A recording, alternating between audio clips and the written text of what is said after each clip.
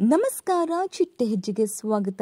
ಚಂದನ್ ಶೆಟ್ಟಿ ಹಾಗೂ ನಿವೇದಿತಾ ಗೌಡರವರ ಡಿವೋರ್ಸ್ಗೆ ಕಾರಣ ಏನು ಗೊತ್ತಾ? ಫೆಬ್ರವರಿ ಇಪ್ಪತ್ತಾರು, ಎರಡ್ ಸಾವಿರದ ಇಪ್ಪತ್ತರಂದು ಅದ್ದೂರಿಯಾಗಿ ಮದುವೆಯಾದ ಈ ಜೋಡಿ ಈಗ ವಿಚ್ಛೇದನ ಪಡೆದಿದ್ದಾರೆ. ಈ ದಂಪತಿ ಗುರುವಾರ ಫ್ಯಾಮಿಲಿ ಕೋರ್ಟ್ನಲ್ಲಿ ವಿಚ್ಛೇದನ ಕೋರಿ ಅರ್ಜಿ ಸಲ್ಲಿಸಿದ್ದರು. ಈ ಡಿವೋರ್ಸ್ಗೆ ಕಾರಣ ಏನು ಅಂತ ನೋಡೋದಾದರೆ ಇವರಿಬ್ಬರಿಗೂ ಕರಿಯರ್ ಬಗ್ಗೆ ಕನಸಿದೆ.